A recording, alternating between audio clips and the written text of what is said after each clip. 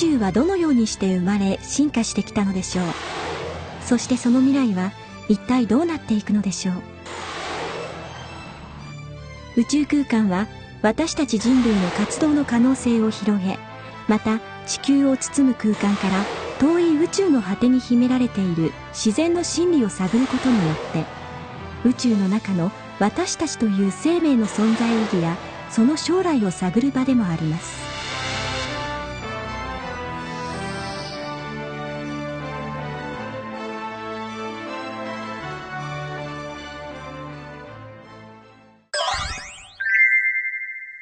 ここは宇宙科学研究本部。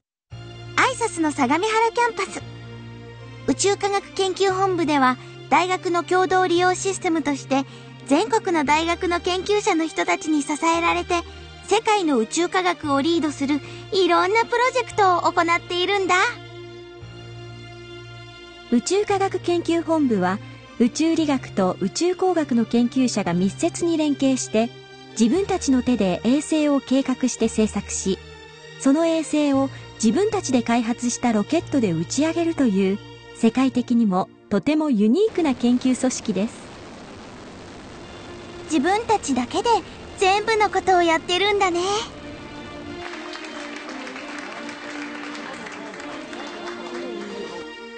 そして宇宙科学研究本部はこれからの21世紀の宇宙科学を担う若い研究者や技術者の人材養成のために大学院教育を行っています。また一般の方に向けては宇宙科学本部の研究者と触れ合いながら学習をしてもらう体験学習プログラムや宇宙学校を開催しています。宇宙科学研究本部は宇宙航空研究開発機構 JAXA の中の4つの本部のうちの1つで、宇宙科学研究と大学院教育、科学衛星プロジェクトを行う組織として位置づけられています。日本の宇宙科学研究の第一歩は、宇宙科学研究本部の前身の東京大学生産技術研究所の糸川博士が中心となって、1955年に開発した全長わずか23センチメートルのペンシルロケットの水平試写実験だったんだ。じゃあ、今までに宇宙科学研究本部が打ち上げた衛星たちを見てみよう。大隅に始まった日本の科学衛星探査機試験衛星は29機を数えています。我が国初の惑星間探査機先駆け、水星や数々の科学衛星による X 線天文学をはじめとする観測成果は国際的にもとても高い評価を受けています。最近ではミュー5型ロケットによって光学実験探査機はやぶさや X 線天文衛星スザクを打ち上げました。また小型科学衛星黎明をロシアのロケットで打ち上げました。宇宙科学研究本部では世界と日本の宇宙科学の状況を踏まえて、現在の宇宙科学の基本的な研究の目標を宇宙観測と太陽系探査でそれぞれ3つ設定しています。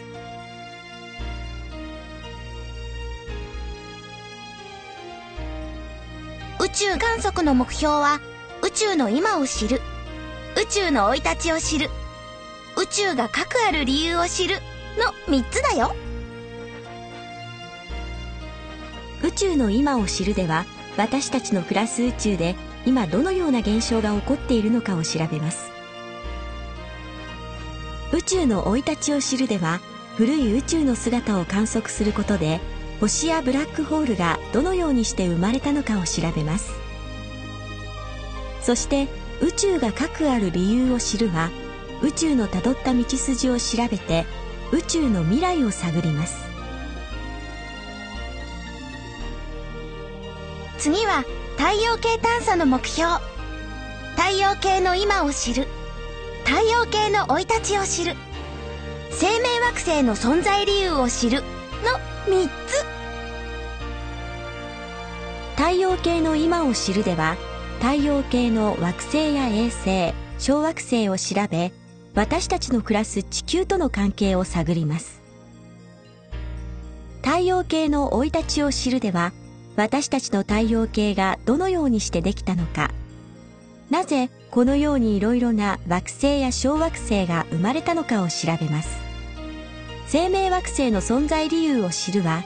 地球に生命が発生して進化したのはどのような環境だったか、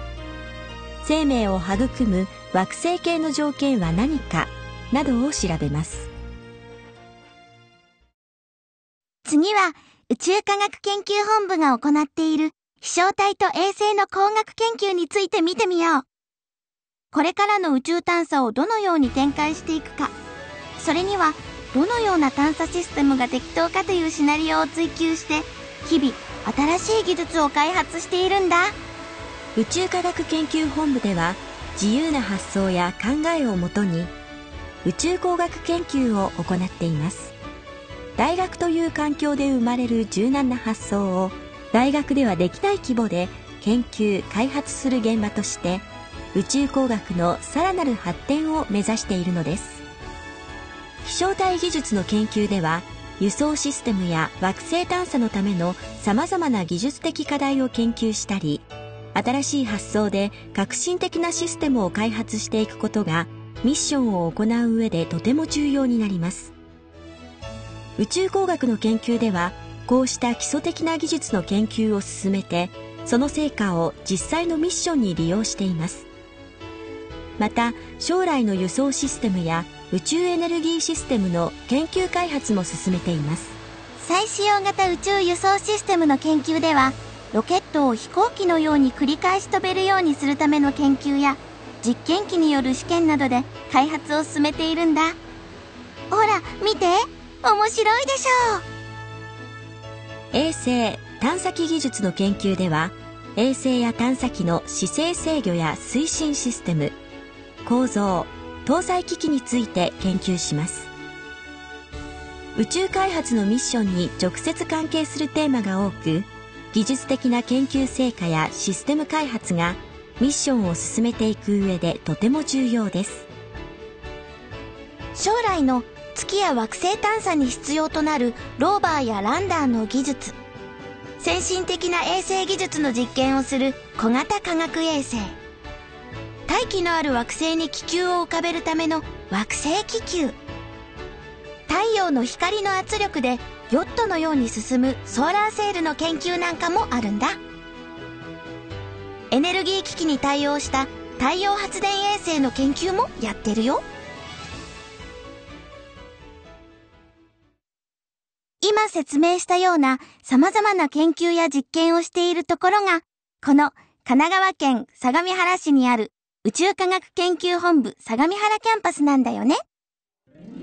毎年行われている一般公開では各研究施設の公開と研究内容の紹介を行っているよ体験や実験を通じて様々な最新の宇宙科学に関しての知識に接してもらってるんだ1万人を超える人たちが来るんだよ。じゃあ早速相模原キャンパスの各施設を見てみよう。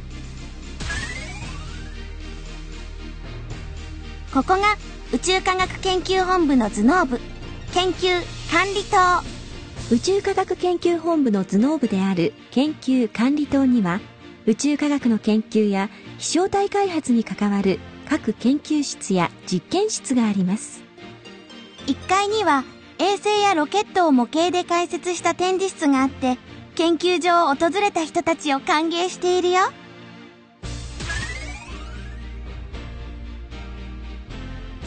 ここは研究センター棟。臼田宇宙空間観測所や内之浦宇宙空間観測所のアンテナと結んで宇宙科学研究本部が打ち上げた衛星に指令を送る管制室や衛星から送られてくるデータの処理室があります飛翔体環境試験棟には常に温度と湿度を一定にして埃の少ない綺麗な空気で満たされたクリーンルームがあるよ。科学衛星の組み立て作業をするところです。そして科学衛星や観測ロケットなどを打ち上げる前に宇宙と同じ環境を作ってその機能をあらかじめチェックするための試験をしています。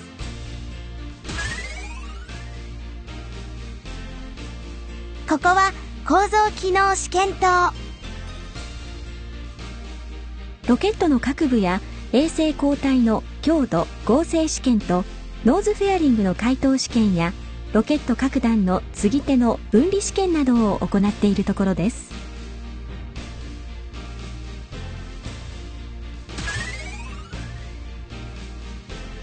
宇宙理工学実験を行う特殊実験棟。ロケットと人工衛星に乗せる機器の基礎開発と試験。宇宙のさまざまな現象のシミュレーションなどの基礎研究をしています。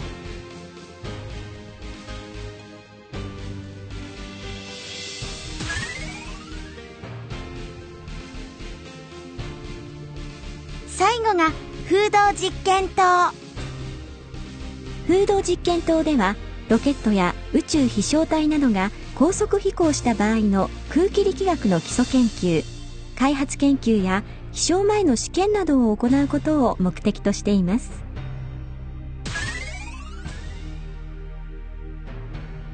全国の研究者や海外からの研究者の宿泊施設と食堂を備えた職員会館があります。このように相模原キャンパスは研究と密着していろいろな種類の試験が機能的に進められるように配慮されていますそして宇宙科学研究本部は日本各地にある JAXA の宇宙研究のための施設とネットワークを結びながら研究を進めているんだ。ここは秋田県にある能代多目的実験場。ロケットモーターの地上燃焼試験や再使用ロケットの飛翔実験をしているんだ。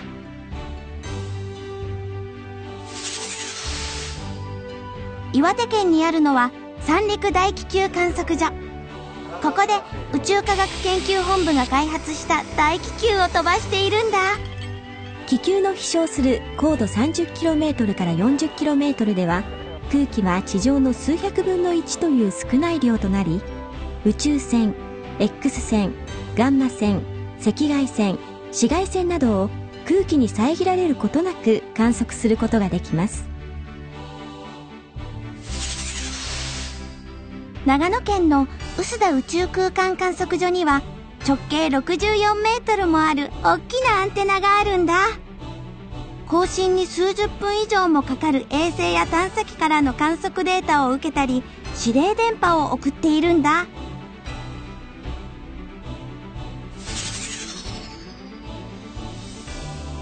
そしてここがロケットを打ち上げている場所。鹿児島県にある内之浦宇宙空間観測所。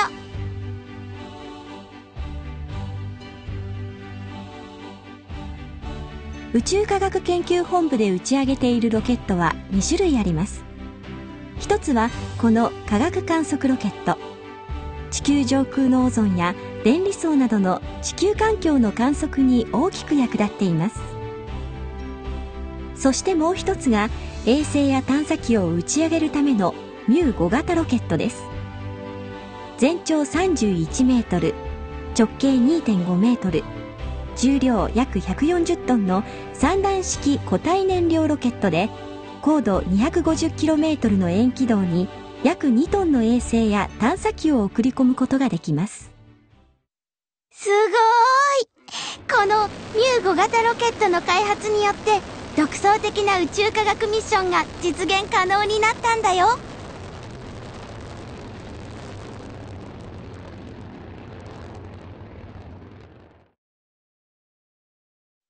それでは宇宙科学研究本部の最近の科学的成果を見てみましょう。アスカは宇宙 X 線背景放射の大半が数十億光年以上彼方にある活動銀河の重ね合わせであることを明らかにしました。電波天文衛星はるかは宇宙で直径8メートルのアンテナを広げ地上の大型電波望遠鏡群と連携して銀河系内のメーザー天体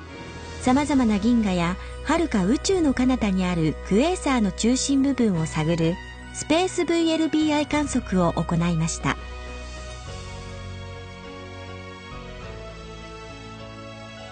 活動の極大期に打ち上げられた陽光は10年間にわたり移り変わる太陽コロナの様子を X 線で鮮明に捉えるなどの観測を行いましたアケボノとジオテイルが地球の周りにある磁気圏が地球上にオーロラなどの多彩な現象を引き起こすその謎を解き明かしています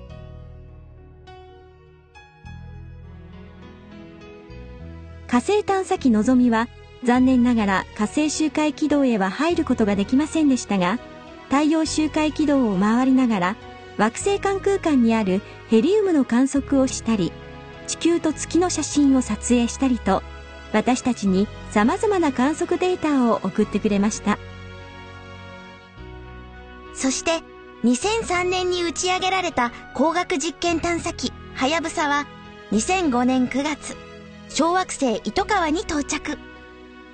糸川の表面の詳しい写真を送ってきたんだ。星の王子様に会いに行きませんか？キャンペーンに応募した88万人の名前を刻んだターゲットマーカーも糸川の上に置いてきたんだよ。いろいろなトラブルがあって地球に帰るのが3年延びたけど糸川のかけらを持って無事地球に帰ってくるといいね。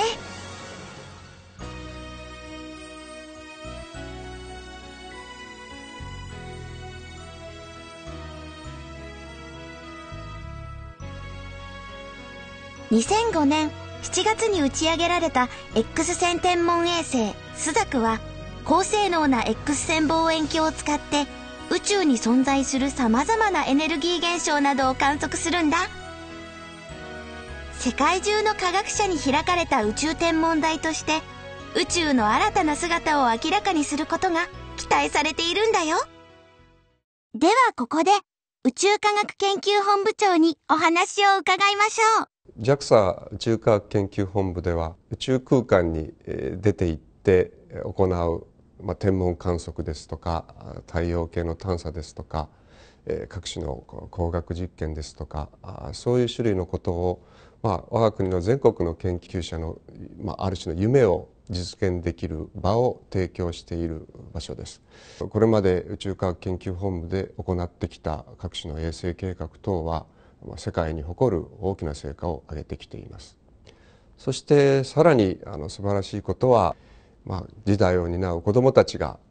自分もこんなことをやってみたいと言ってこういう世界に興味を持ってくれてでさらにこの世界に入ってきてくれた若い研究者たちが現場で自分の手を動かしそして自分の頭で考えることで将来の新しい力となっていってくれている。でそれらの結果が世界に誇る成果を上げていくことで、えー、JAXA の国際的地位を高め、えー、日本の知的存在感を高めていくことにつながっていくことを期待しています。宇宙科学研究本部。挨拶についての詳しいことや最新情報はホームページで紹介しているよ。ロケットや衛星探査機を詳しく解説したビデオを見ることもできるんだ。ミュー5型ロケットの打ち上げの様子の生中継もするよ。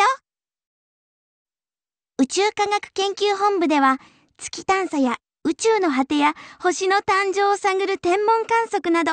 魅力的な計画が順番を待っているんだ。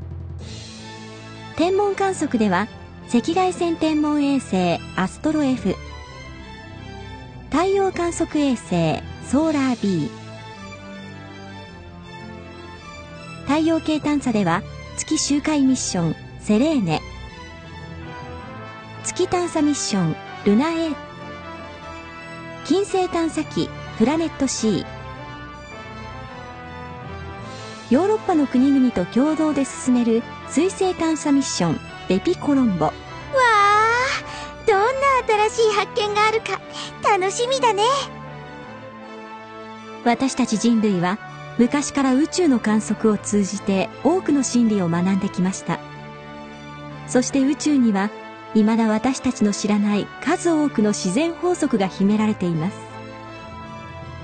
宇宙科学研究本部はその斬新なアイデアと将来へ向けての最先端の技術開発を用いて